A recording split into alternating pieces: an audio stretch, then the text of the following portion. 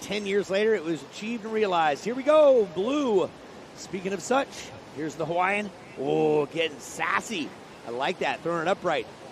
It's so special. I've always loved Jacksonville because even from the first year that I went, and that year it wasn't dual sanctioned, but I think I'd gone up just to go up and like experience it.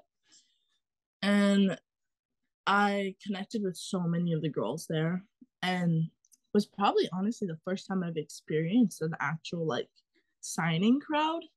Um, because we didn't really we don't really have that in Hawaii. It's getting bigger now, but you didn't really have that. You just surf your heats, do your thing, you know. And so that was definitely very new to me. Um, and that's one of my like best memories from Jacksonville. And so I think, you know, it was it's a beautiful thing, and the crowd there and just the excitement around the event is so positive and it's motivating and inspiring. So I'm excited to enter back into that and get back in that vibe there and uh, yeah, see where it goes.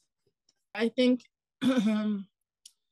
this has been an interesting season for me. Um, I'm not used to being this far behind at this time, and I think um, I had a rough run at the Supergirl, and that's really what kind of you know messed it up for me. I feel like last year at the Supergirl, everyone in Hawaii had a rough run.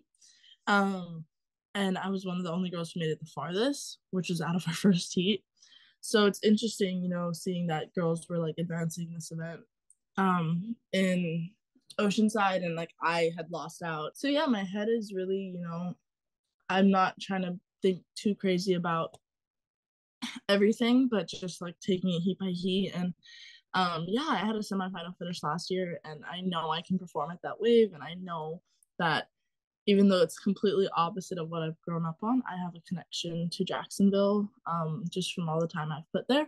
It's interesting because I've gone to, I went to five of the six challengers and learned a lot, had a lot of fails, failing, and a lot of round one losses, and made it out of only a few heats. And, you know, it has really taught me that, you know, not, you're not going to win all the time, which I feel like you go into surfing knowing that a little bit, but I'm definitely being challenged a little bit right now, um, mentally. Just you know, looking at that and looking at the distance between me and the other girls. It obviously Jacksonville is the one event that can actually clo- close that gap.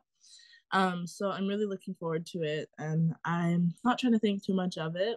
Um, I think that everything happens for a reason, and the result is the result. And in the end, um i just want to hope i just hope that i can control everything that's in my control and have myself ready and whatever's out of my control um see how that works out but yeah